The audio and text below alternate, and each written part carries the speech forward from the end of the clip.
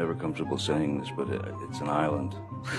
it's a very strange thing to say. Your testimony that right after you cut your finger off, that you, or right after, I- I won't give you anything to argue with me yet.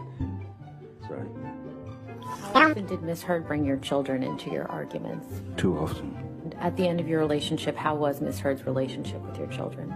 Non existent. My children, my kids are far more intelligent than I am. Refused to be around her. I didn't like uh, the way she uh, treated me.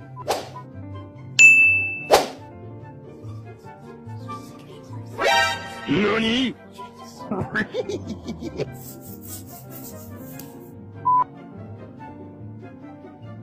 Ha ha!